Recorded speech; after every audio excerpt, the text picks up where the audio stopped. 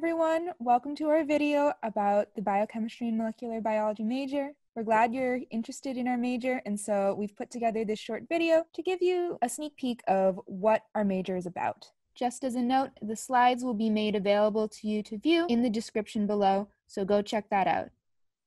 As the major name suggests, we're a combination of biochemistry and molecular biology study, where biochemistry is a study of these chemical processes within biological organisms. And then the molecular biology side, it's this interdisciplinary study of cellular processes at the molecular level. And so we group the two together because of how much overlap there is. It's pretty laboratory based as a major, so keep that in mind as you think about your options.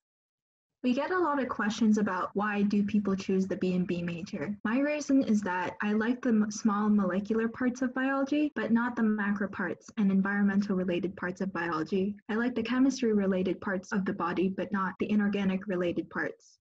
My personal reason is that I like how dynamic our major is and how many fields we encounter. I enjoy studying a little bit of everything while still focusing on biological processes and the chemistry of how those work. I'm interested in molecular pathways in the body and how to target them for treatment. I also think biochemistry is really interesting because it's constantly changing. There's always new research and new techniques that are being discovered. I chose biochemistry because I like how chemistry and biology tie in together to explain essential life processes in cells. I also wanted to learn and understand the pathway to diseases such as Alzheimer's. Now, what can we do with a biochemistry degree? Many are listed below, but there's more to it. You could go to graduate school with it, medical school, research, anesthesiologist, chemist. You could go into nonprofit businesses, industries, and many more.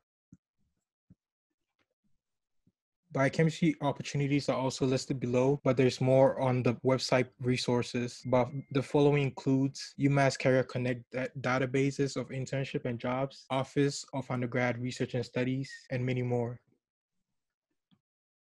Some biochemistry major resources that we have on campus include the major requirements list that you can find also on the UMass Biochemistry website. You can also find on the same website research that is done by current faculty on campus, and that will also have any classes that they're teaching, which might be interesting if you are hoping to talk to them or get to know more about them. You could also join the biochemistry club at UMass Amherst, and you are able to connect with us through email, Instagram, or Twitter. In the past, we have had industry trips and in person meetings and doing experiments together and all sorts of fun things. We are a chapter of the American Society for Biochemistry and Molecular Biology. Being a member of ASBMB gets you access to scholarships, poster presentations, journals, and many more opportunities. Also, if you are not a BMB major but you are interested in joining, you can find that by following this link here that is also listed on the major department website.